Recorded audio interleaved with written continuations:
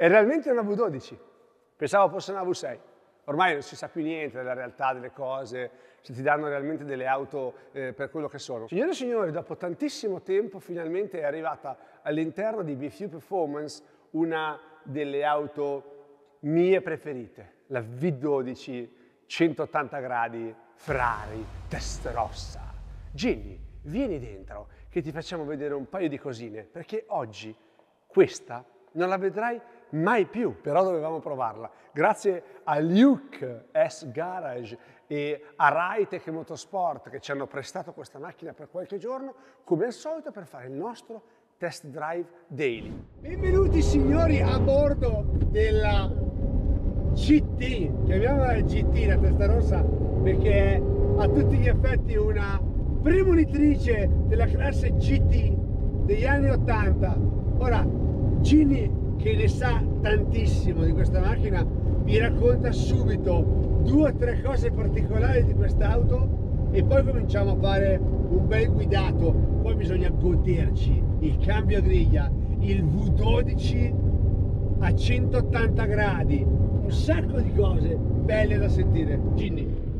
Allora, quest'auto incredibile è iniziata la produzione nel 1984 fino addirittura al 1996, vedete, quasi 10.000 esemplari prodotti, dall'84 al 91 la prima serie, dal 91 al 96 due restyling hanno fatto, quindi un V12 rivoluzionario per l'epoca. Certo, infatti l'hanno usato qui e poi non l'hanno mai più usato, esatto. perché ha una difficoltà enorme in una serie di cose quindi l'hanno un po' lasciato andare, è più o meno lo stesso funzionamento del boxer, il motore boxer che monta Porsche Subaru, però con un ordine di scoppio differente, quindi non è un boxer, ma otticamente quando lo guardi sembra un V12 boxer. Un'altra particolarità, vabbè, abbastanza tipica dell'epoca, ma irrinunciabile, sono gli, i fari a scomparsa. Questi.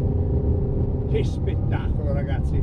La cosa che mi dispiace un po' è non poterla parcheggiare con i fari aperti, spenti, ma appena spegni i fari per non scaricare la batteria, lei abbassa i fari. Vi dico subito che quando io ero bambino, i primi 7-8 anni della mia vita li ho fatti dormendo in un letto a forma di Ferrari testa rossa.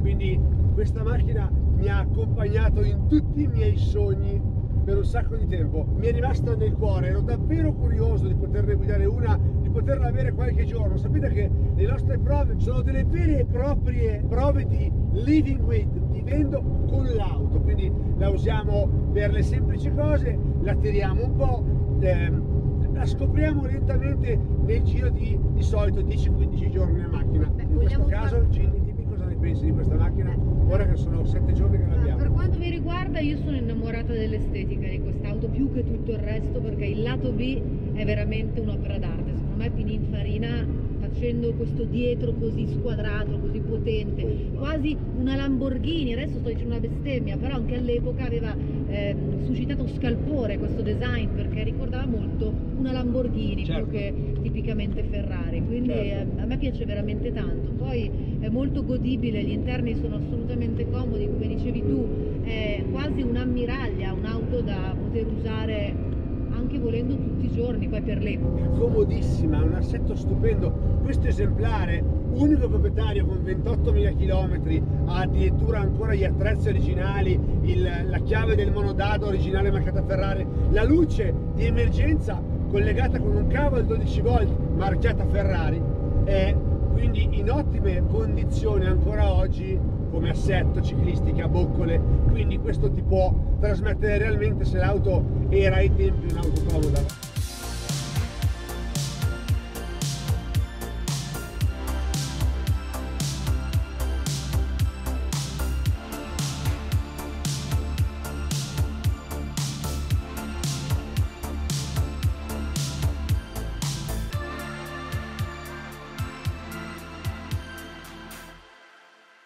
Non vi devo dire niente di un Ferrari V12 testa rossa perché tutti voi sapete perfettamente di che macchina stiamo parlando, di quanto quest'auto sia stata amata in tutti questi anni per il suo design così irrompente, così aggressiva, così da cumenda e così opulente come la descrissa dai tempi, però c'è qualcosa che vi voglio raccontare in questo video alla Piero Angela. Io, se permette, vorrei prendere questo bastone e colpirla ripetutamente. Perché davvero l'hanno descritta come una postazione di guida orribile, la pedaliera tutta storta, la macchina che fatica a salire di giri. È esattamente così. È davvero una guida orribile, è davvero tutta storta con i pedali. Le marce entrano così, quando vogliono loro, con questo cambio a griglia, ma è proprio questo il motivo per il quale questa macchina è amata da tutto il mondo.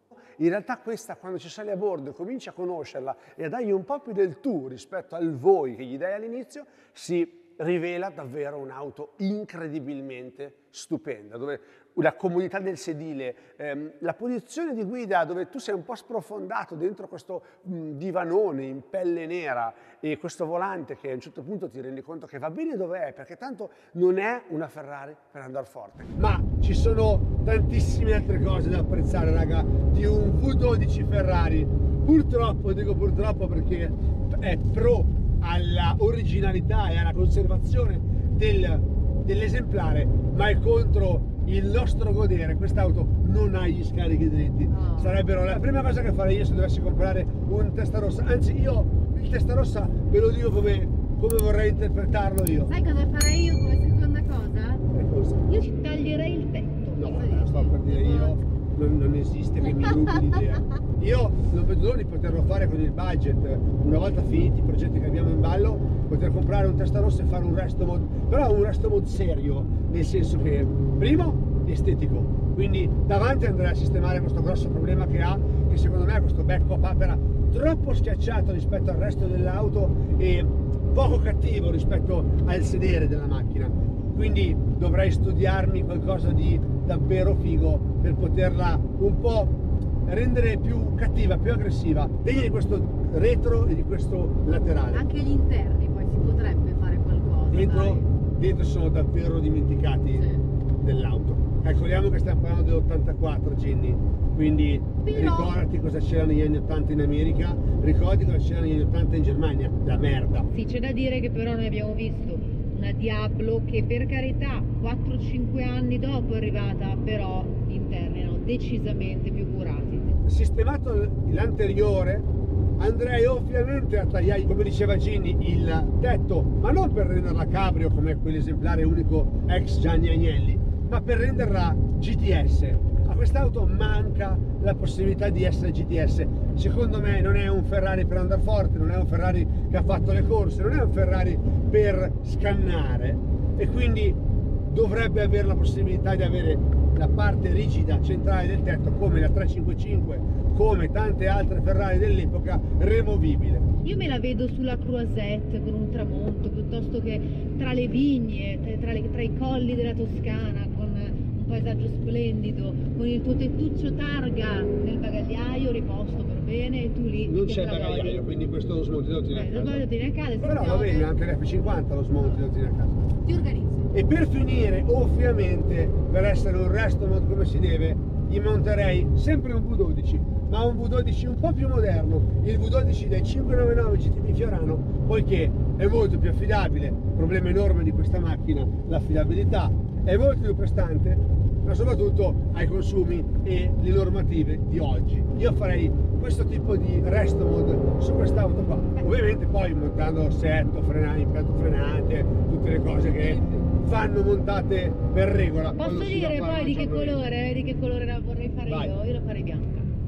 Baby Vice. O bianca o azzurra, ma un azzurro chiaro, azzurra. un azzurro che fa sognare. Azzurro interni bianchi. Che roba veramente sarebbe un sogno, un'auto proprio per godere, non per andare necessariamente forte.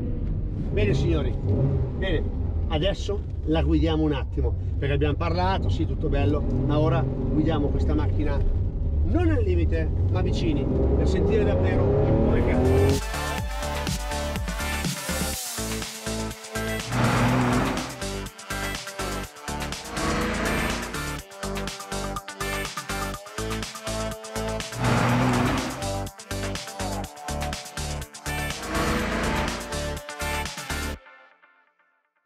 inserimento in curva stupendo pur avendo delle gomme con una spalla altissima molto vecchio, sono delle gomme del 2017 se non sbaglio, ma col disegno e l'intaglio vintage, quindi zero prestazioni.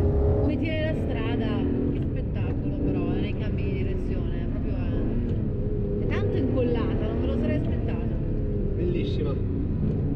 Poi anche Freddy ci mette del suo secondo me, eh, che ormai ne ha maturata di Sottosterza un esperienza. po', ha un differenziale molto bello dietro, attacca tantissimo la ruota interna in curva quando la curva è tanto stretta e, e davvero, davvero è una guida anni 80, stupenda, stupenda, davvero.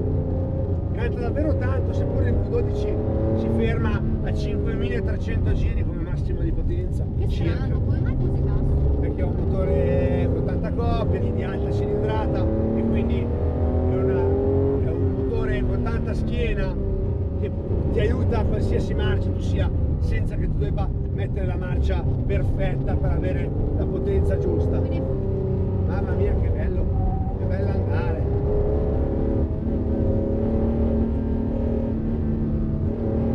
va forte comunque, eh? ti dà davvero da remare perché non ha il servosterzo e la frizione è molto morbida al contrario della Diablo quindi poco stancante per, per l'auto e, e l'età che ha.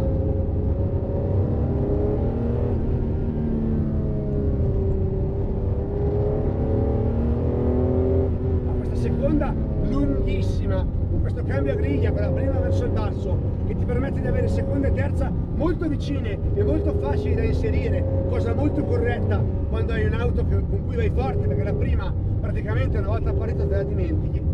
E quindi hai questa seconda però molto lunga che ti permette, almeno tanta coppia al motore, di tenerla tantissimo, quasi sempre, su una strada di montagna tipo questa della Bolivia. E questo volante è un po' strano, è piccolino. In realtà la posizione di guida è scomoda perché hai la gamba sinistra appoggiata contro la porta. Comunque ragazzi, che esperienza, che godere, che revival. Qua ci vorrebbe una delle canzoni sottofondo di Giorgio Moroder, una delle sue hit anni 80 che hanno fatto la storia delle discoteche mondiali. Ancora oggi metà delle sue canzoni vengono suonate in tutte le salse. Colui che inventò addirittura la CZ Moroder, un'auto stupenda, V16, un mix tra testa rossa e Lamborghini Diablo, fece una fusione e fece 10 pezzi di quell'auto, che non fece mai successo perché l'inaffidabilità totale del motore e l'incapacità per chiunque di metterci le mani, a parte chi lo sviluppò, voto 9 a questa testa rossa perché il punto che non gli posso dare è per la scomodità di guida, ma se no, altrimenti sarebbe un 10 lode. Addirittura 9. Eh, ma il faro che sta bassa si alza. No, ma abbiamo detto sulla guidabilità, non il faro, eh, soltanto guidabilità. No, no, guidabilità 8. Non frena, ha ha tante cose che non, non vanno bene per andare forte. Estetica 9 Però allora. complessivo no. Ah, però. Bene, torniamo in studio. Stavo scherzando. Se avete visto nel video, quest'auto è estremamente stupenda da guidare. Mi sono divertito come un pazzo. Non volevo dirvelo prima perché sennò mi sareste aspettati il solito video, il solito... Comunque ti sei dovuto un po' ricredere perché le tue aspettative non erano così No. elevate, eh? No. Eri scettico. Perché ovviamente i primi giorni l'ho guidata qui, in the city of Milan, quindi nella città di Milano, per chi non parlasse il tedesco. E ovviamente è una macchina antipatica, perché ha cambio a frizione. La frizione è molto morbida rispetto alla Diablo, che ha la frizione da 100 kg, se ti ricordi. Però il cambio comunque richiede delle attenzioni, la macchina non ha servosterzo, ehm, fatica a curvare sul lento, quindi è una macchina che... Ma una volta che la lanci sopra i 40, 50 km h ma soprattutto in autostrada, in autostrada eravamo lì lì che andavamo un po' a spasso alle nostre tipiche velocità, quelle, quello il 2 davanti, che non ti posso dire il resto dei numeri, Ma non è vero. ma è una bomba era, cioè il cruising a quelle velocità era stupenda. La macchina con la quinta marcia perfettamente giusta, allineata coi giri, con la velocità giusta, non consuma neanche uno sproposito, frena il giusto, ha una visibilità della Madonna, questi fari davanti che sono un'opera d'arte che io vorrei sapere davvero, io vi chiedo a voi, Italia, avete lasciato che i camion mh, potessero circolare con i container di ferro, con delle sporgenze in tutti i lati e avete vietato l'omologazione dei fari che si alzano per i pedoni. Ma fatemi capire se un pedone viene colpito da un tram che fine fa rispetto a un faro alzato. Sono belli su queste auto, ma sono tanto vecchi. Cioè, secondo me stanno bene dove... Non lo so, io sono sicuro che uno Zagato, un Pininfarina, uno di loro, un Bertone, sarebbe stato in grado sicuramente di portarli avanti negli anni con un design sempre più innovativo, recente e aggiornato ai tempi, ma delle gran figate. Spero vi sia piaciuto il test drive, spero come a noi vi faccia impazzire questo design davvero immortale del Ferrari Testarossa perché a noi ha fatto davvero innamorare quest'auto. Grazie per essere stati con noi, ci vediamo nel prossimo video. Adesso noi andiamo a ballare. Aspettavo dicesse Ginny, ma Ginny non chiude mai i video, Ginny non li chiude i video. Io rimarrei sempre qua a ballare.